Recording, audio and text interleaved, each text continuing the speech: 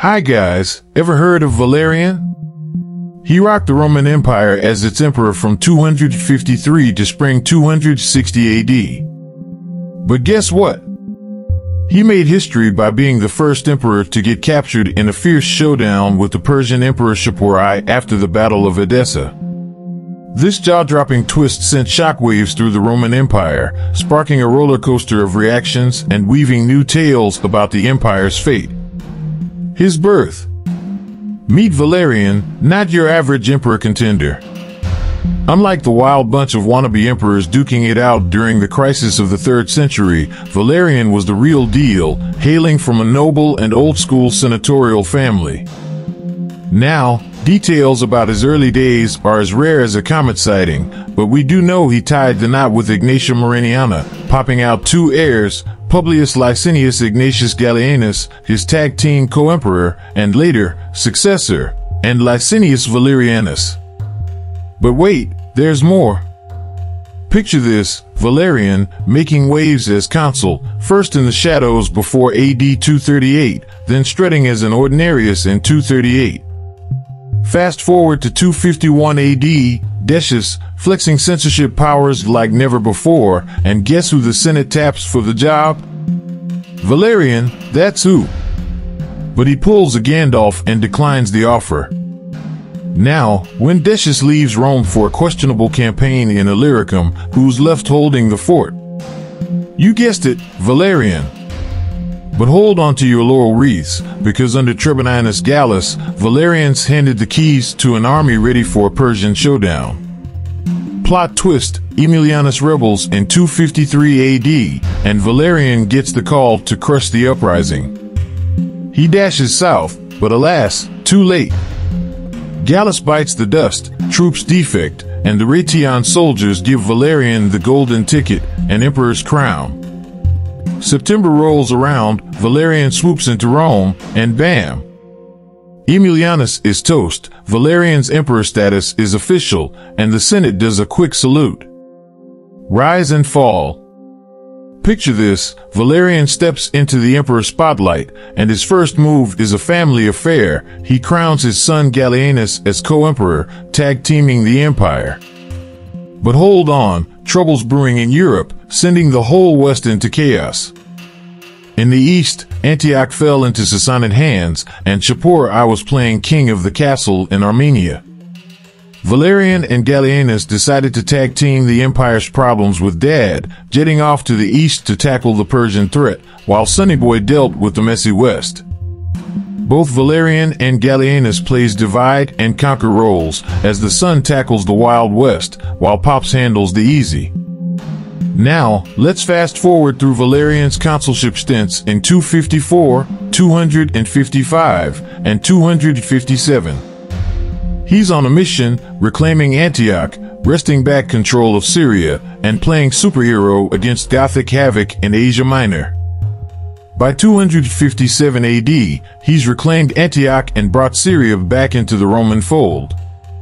But wait, the Goths decide to crash the party, wreaking havoc in Asia Minor in 258. In 259 AD, Valerian sets his sights on Edessa, but a pesky plague plays spoiler, taking out a chunk of his legionaries and leaving Rome vulnerable. To top it off, the Persians seize the opportunity and lay siege to Edessa. The climax hits in 260 AD, June, to be precise, as Valerian faces the Battle of Edessa, and spoiler alert, it doesn't end well. He's not just defeated, he's captured and spends the rest of his days in Persian custody. Talk about a colossal Roman defeat. Persecution of Christians. While fighting the Persians, Valerian sent two letters to the Senate ordering that firm steps be taken against Christians. The first, sent in 257 AD, commanded Christian clergy to perform sacrifices to the Roman gods or face banishment. The second, the following year, ordered the execution of Christian leaders. It also required Christian senators and equites to perform acts of worship to the Roman gods or lose their titles and property, and directed that they be executed if they continued to refuse. It also decreed that Roman matrons who would not apostatize should lose their property and be banished. and that civil servants and members of the imperial household who would not worship the Roman gods should be reduced to slaves and sent to work on the imperial estates. This indicates that Christians were well established at that time, some in very high positions. The execution of Saint Prudent at Narbonne is taken to have occurred in 257 AD. Prominent Christians executed in 258 included Pope Sixtus II, August 6th, Saint Romanus Ostiarius, August 9th, and Saint Lawrence, August 10th. Others executed in 258 AD included the Saints Denis in Paris, Pontius and Simmias, Cyprian and others in Carthage and Eugenia in Rome. In 259 AD, Saint Patroclus was executed at Troyes and Saint Fructuosus at Tarragona. When Valerian's son Gallienus became emperor in 260, the decree was rescinded. Death in captivity. Eutropius spilled the beans between 364 and 378 AD in his writing, painting a grim picture of Valerian, who got a one-way ticket to Parthian ignominy after Shapur, king of Persia, showed him the ropes of defeat. An early Christian source, Lactantius, thought to be virulently anti-Persian, thanks to the occasional persecution of Christians by some Sasanian monarchs, maintained that, for some time prior to his death, Valerian was subjected to the greatest insults by his captors. For example, being used as a human footstool by Shapur when mounting his horse. Historians have been locked in a debate about the true events, leaving us with more questions than answers. According to this version of events, after a long period of such treatment, Valerian offered Shapur a huge ransom for his release. In reply, Shapur was said to have forced Valerian to swallow molten gold. The other version of his death is almost the same, but it says that Valerian was killed by being flayed alive. After he was killed, they had him skinned and his skin was stuffed with straw and preserved as a trophy in the main Persian temple. It was further alleged that it was only after a later Persian defeat against Rome that his skin was given a cremation and burial. The captivity and death of Valerian has been frequently debated by historians without any definitive conclusion. According to the modern scholar Touraj Daryaee, contrary to the account of Lactantius, Shapur I sent Valerian and some of his army to the city of Bishapur or Gundashapur where they lived in relatively good conditions. Shapur used the remaining soldiers in engineering and development plans.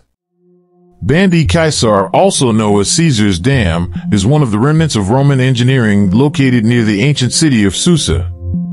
In all the stone carvings on Naqsh-e Rostam in Iran, Valerian is represented holding hands with Shapur I, a sign of submission.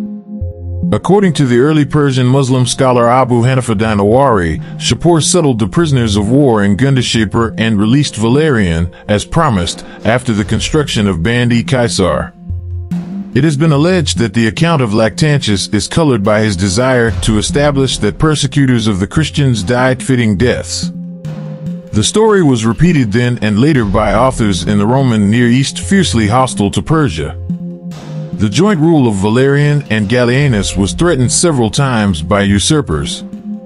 Nevertheless, Gallienus held the throne until his own assassination in 268 AD.